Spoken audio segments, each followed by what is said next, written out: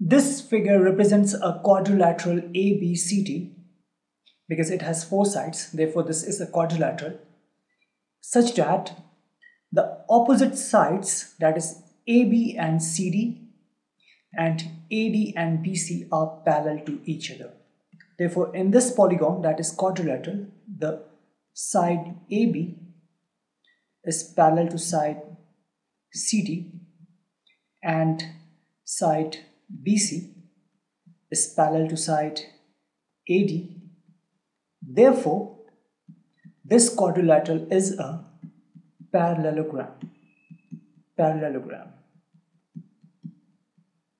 So the definition of a parallelogram is a parallelogram is a type of quadrilateral whose opposite sides are parallel to each other. Okay, now this angle, angle D and angle B and angle C and angle A, these, this pair and this pair, these two are the pairs of opposite angles. So angle ADC and angle ABC these are one pair this is one pair of opposite angles. And angle DCB and angle BAC this is another pair of opposite angles. Okay now if you look at this angle that is angle D and angle C we are simply saying it angle D or angle C otherwise the correct way will be to say angle ADC and angle BCD okay? Still angle ADC and angle BCD this is one pair of adjacent angles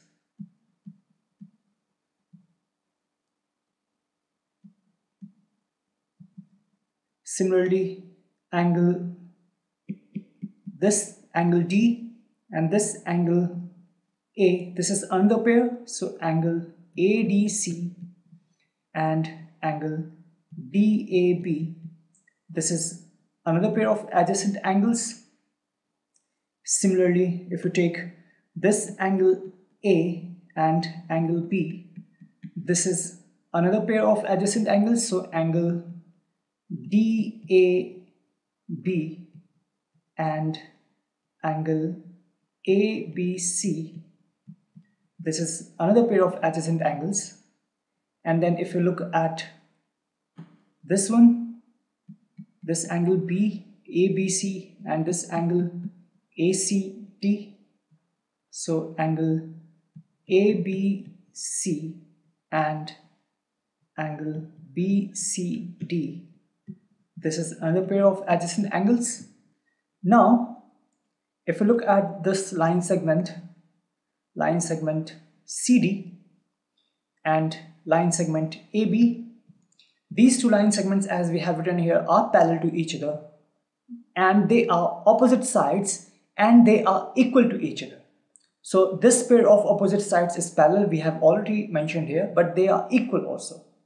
So side AB is equal to side CD and this is pair of opposite sides. right? Opposite sides. And they are parallel also. We have already mentioned it. Similarly this side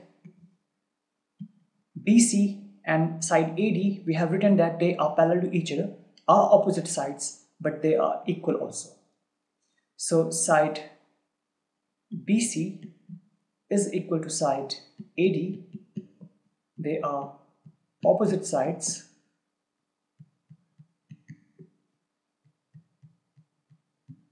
and they are parallel also. Right? Now, we are done with opposite sides we are done with opposite angles we are done with opposite adjacent angles. In the like opposite sides are equal and parallel to each other in the same way. Opposite angles that we have mentioned here these are also equal to each other. So the angle ADC and is equal to angle ABC angle ADC and angle ABC will be equal to each other. And angle similarly angle DCB will be equal to BAC that we have written here. Yes they are opposite angles but they are equal also. Right? So opposite sides are equal and parallel. This one, this one, and this one, and this one, opposite angles are equal to each other. Now, this line segment that is joining the opposite vertices is actually diagonal, diagonal BD. So this line segment BD is one diagonal and this another diagonal is side AC. Sorry, not side, line segment AC. This is another diagonal. So diagonals are the line segments that join the opposite vertices. And if we suppose that this, the point where this intersect, if we suppose it as O, then this O is actually the midpoint of both of these diagonals. Diagonals are not usually equal to each other. This point O, that is the intersection point of these two diagonals, is the midpoint for both of these diagonals. That is, this OD is equal to OB and this OA is equal to OC because they intersect in a way that this point of intersection acts as a midpoint for both of these diagonals. That is for BD, O is the midpoint and for AC, O is the midpoint.